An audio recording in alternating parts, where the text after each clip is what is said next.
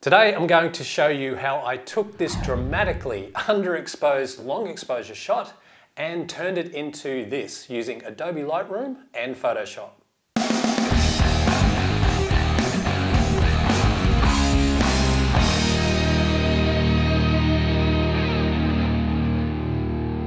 Hi guys and thanks for tuning in and welcome back to the channel. Well, news from my part of the world here in Australia. If it's not fire, if it's not COVID lockdowns, then normally we're underwater. And unfortunately, most eastern parts of Australia this week have absolutely copped it with rainstorms and there is some severe flooding happening and people have been evacuated from their homes. And the authorities have said, you know, really don't go out unless it's absolutely necessary. So I'm doing my part. I've come back in here to the studio and I thought this is a really good opportunity because I've had a couple of you guys out there ask me for this. I'm going to do a tutorial on some long exposure landscape photography, doing some post-processing in Adobe Lightroom and Photoshop. This long exposure sunset shot I'll be using today was taken at Glencoe in Scotland.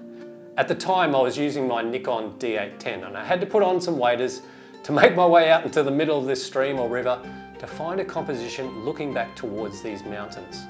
The settings and filters I used are on the screen now, and as you can tell from the opening of this video, the end shot was massively undercooked.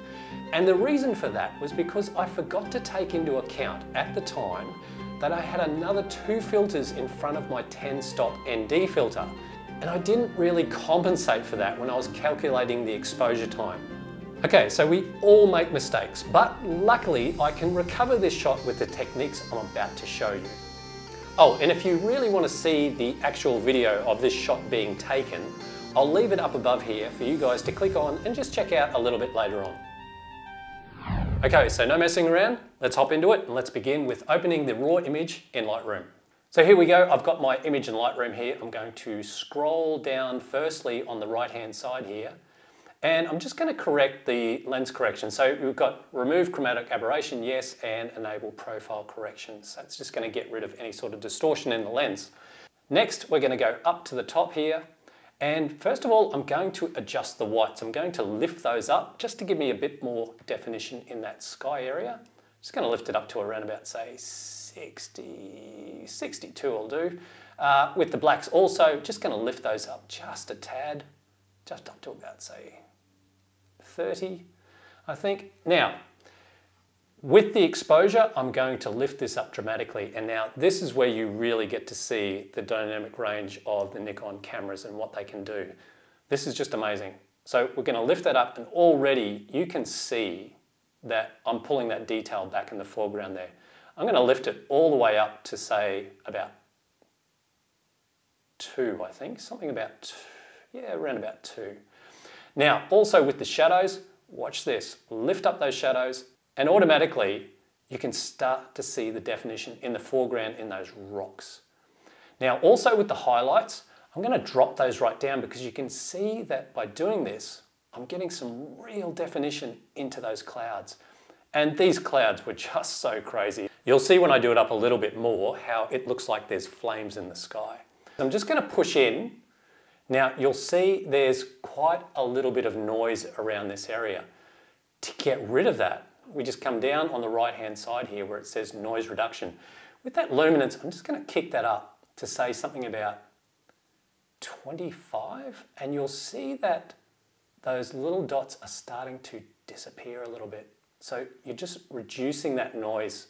Let's just go up to the top here and I'm just going to scroll back down to where it says clarity. So I'm just going to push into the mountain and also you can see there's a little bit of a hot pixel. I'm actually going to get rid of that in Photoshop in a minute.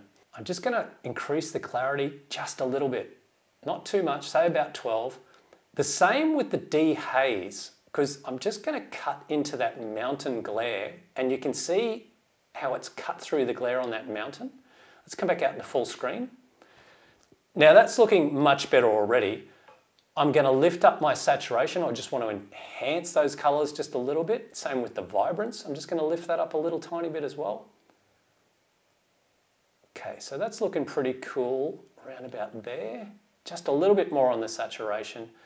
What I'm going to do is I'm going to flick that over into Photoshop So let's just come up to photo and edit and edit in Adobe Photoshop and we just wait for my old clunky computer to get it over to Photoshop. All right, so we're in Photoshop now. Very simple things what I'm doing in Photoshop. I like doing these type of adjustments in Photoshop more than I like in Lightroom. First of all, I'm going to just come down to my dodge tool here on the left-hand side. So let's just click on that. Uh, that's just a little bit high in the exposure. I'm just going to drop that down to 35%. Also over here, I'm just going to use a very soft round brush and set it, I'm just going to make that a little bit smaller, just hitting on the brackets just to make it a little bit smaller. I'm just going to lift up the light at the bottom of that mountain. Just where you can see that little bit of light breaking through, that valley there coming through, I'm just going to accentuate that a little bit. So you'll see, you'll see what I do here. I'm just going to accentuate just that little bit of light. Now also in the foreground, I'm actually going to make that brush a little bit bigger. And I'm also going to kick up the exposure to 50%. I'm going to paint just around this rock area here. Now I had a polarizer filter on which was really helping cut through the glare of the water so I was able to see the rocks which has really made this shot look much more dramatic. See how the way I've composed the shot, I'm using those rocks as a lead-in line coming along the river and it's leading up to the mountain in the background to the long exposure of the clouds. Just a little bit more around here, a little bit there, a little bit just more down here. It's a little bit too dark. I just want to accentuate those lines in the corner there. Just going to make it a little bit smaller. A little bit more light around that mountain. Down the bottom, I can just see with my eye, there are a few little hot pixels. Now to get rid of those, I'm just going to come up here to my spot healing brush. So I'm just going to grab a hold of that. I'm just going to make that a little bit bigger. And I'm just going to zoom in a little bit more. And you can see up here, it's just a few little hot pixels. I know there was one on the mountain before when I zoomed in, so I'm going to get rid of that as well. So I just scroll along the bottom here, and that's looking pretty good just a couple here.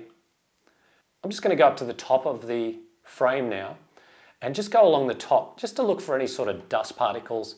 And I think this is actually pretty good. So I was a pretty good boy. I had a clean sensor on this day. So let's just go back down to that mountaintop where that hot pixel was, right on that mountain. I'm just going to get rid of that just simply like this and it's gone. Let's come back out to full screen. All right, so that is looking quite dramatic and by using the dodge tool and burning those light patches into the image, it's kind of like almost giving us a natural vignette around the outside. But you can see the way the light leads your eye along the rocks, over to the patch on the left there, up to the mountain, and then onto the clouds. So there we go. Let's just put a nice little border around the outside of that up here using the stroke. Uh, let's see. 75 will be all right. Let's just go into full screen. And there is our shot from Glencoe. Well guys, I'm gonna leave it there. Thank you so much for watching. I really appreciate it. I mean, how amazing is that dynamic range out of those Nikon full frame cameras? I mean, the fact that you can get that image back to that standard, it really does blow my mind.